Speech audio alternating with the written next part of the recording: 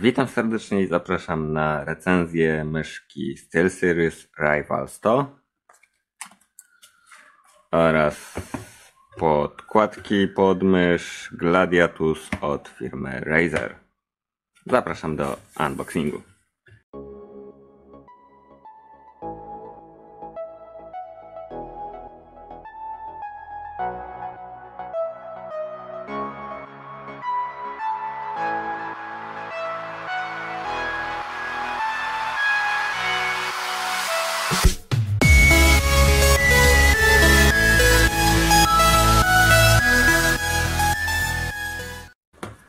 Na początek zajmiemy się myszką.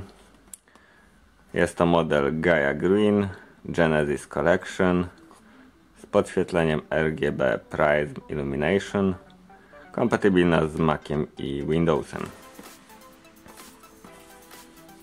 Dodatkowo mamy informację, że sensor mamy optyczny, oświetlenie 2000 CPI, 30 milionów kliknięć i akcelerację na poziomie 20G.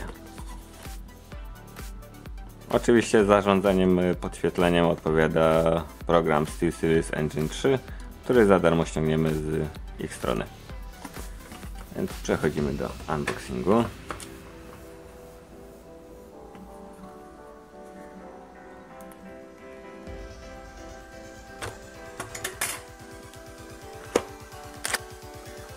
Udało się.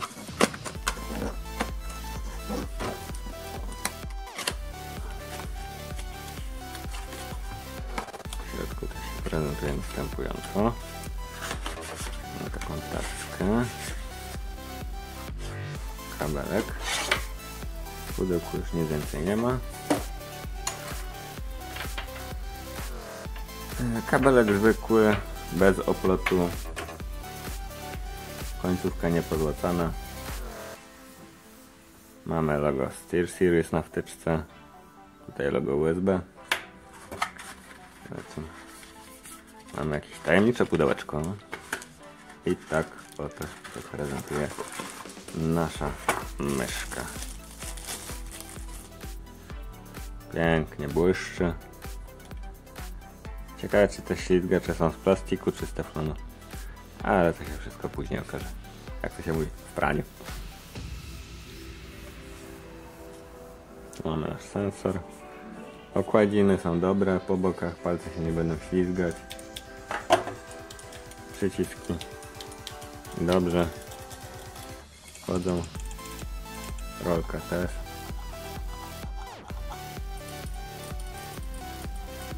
Przycisk DPI też jest dobry.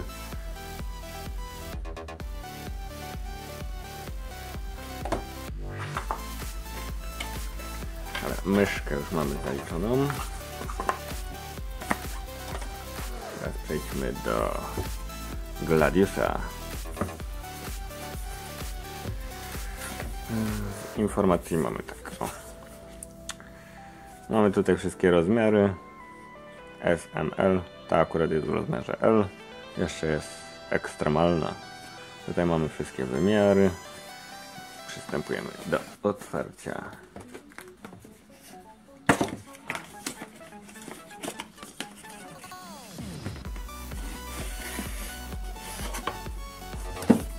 Środku? Nic. I tak oto się prezentuje podkładka. Gumowa od spodu, więc nie będzie się ślizgać. Fajny materiał. Wzór też. Sprawdzimy jak. No, myszka fajnie śmiga. Zobaczymy teraz jak będzie działać pod po podpięciu do komputera.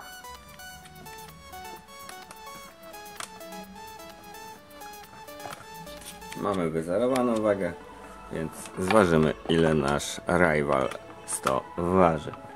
Waży 121 gram.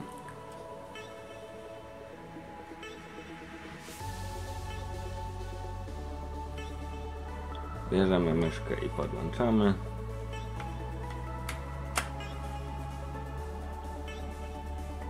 Ta od razu nam świeci.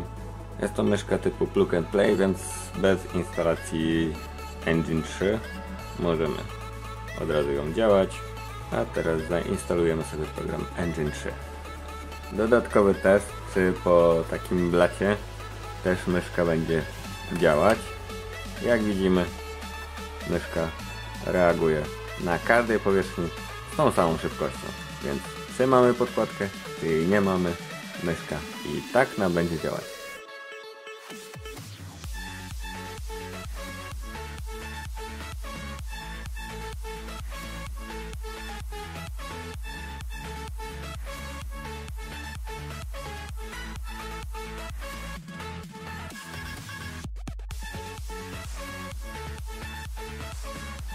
SteelSeries Engine 3, wersja 3.11.08 i pobieramy na Windows 7 lub na 7. Aplikacja zajmuje 108 szybko nam się pobierze. A myszka fajnie się ślizga.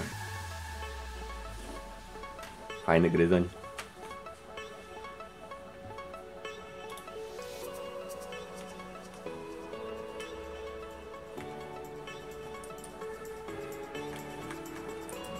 Ciekawe czy jest opcja ustawienia DPI pod względem koloru wyświetlenia. Ale to się za chwilę dowiemy.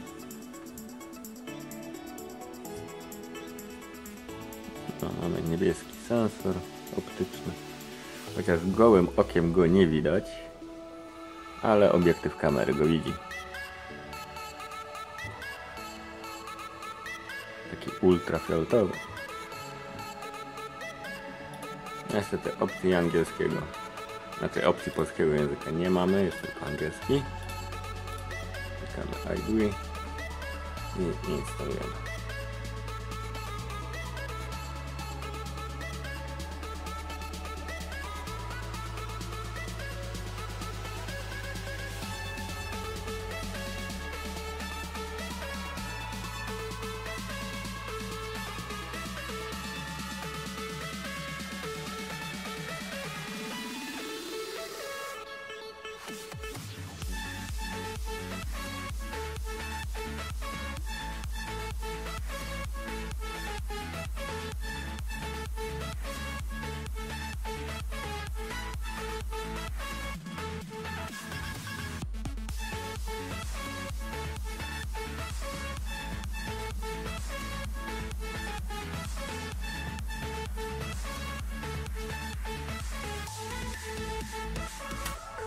Te ślizgacze chyba muszą być teflonowe na plastikowych czy na gumowych, żeby się tak nie ślizgał po tej podkładce izolowskiej. A podkładka też jest fajna. Zobaczymy jak się będzie wpisywać. Zainstalowała nam się Engine 3. Program się uruchamia.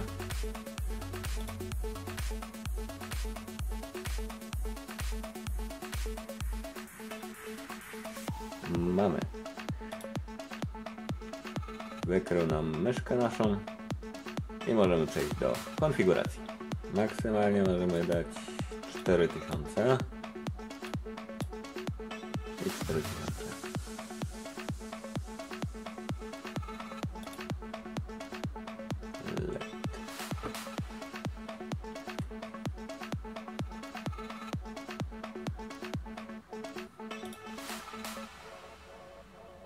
Multicolor breed.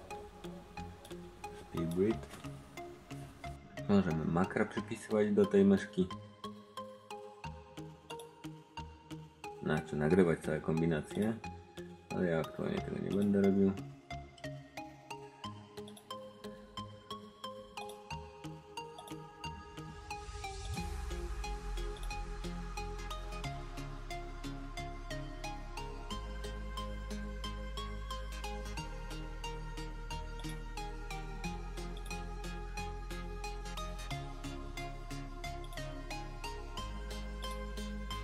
Don't I'm not connected.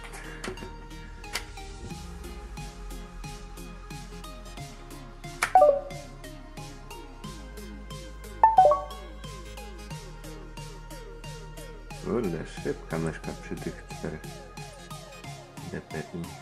Yy, 4000.